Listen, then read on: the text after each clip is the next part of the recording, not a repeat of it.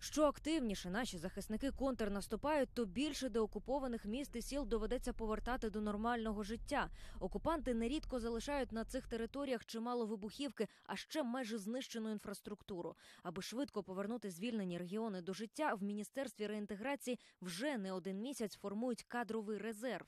Кадровий резерв це складова більш ширшої так політики держави щодо деокупації. Буде включено усі необхідні заходи, кроки, так а також необхідне законодавство і все решта, що тільки потрібно для того, аби ефективно впровадити і відновити державну владу на наших українських територіях.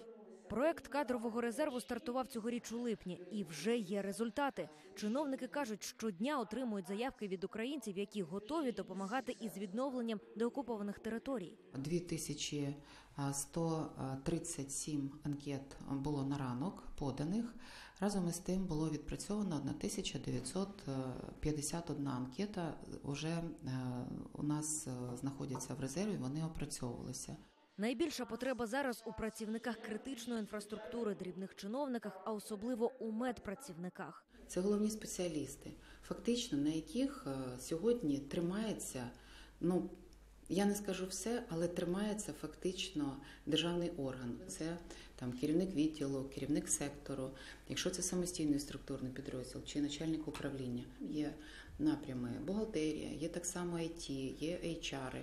Подати заявку тим, хто бажає допомогти Україні відновитися, нескладно. Дуже проста система подачі документів. Є анкета, є перелік документів, які можна направити до місцевих органів управління освітою засобами електронного чи поштового зв'язку. І місцевий орган управління протягом п'яти днів має занести ці дані в систему. А далі залишається чекати запрошення від безпосереднього роботодавця, якого зацікавить резюме. Для таких працівників обіцяють пільги та підвищену зарплату. Для прифронтових сіл і містечок сума збільшиться вдвічі порівняно з мирними територіями. Трохи подалі від фронту обіцяють платити півтори ставки. Єлизавета Яковлева, Володимир Самченко. Подробиці телеканал Інтер. Марафон. Єдині новини.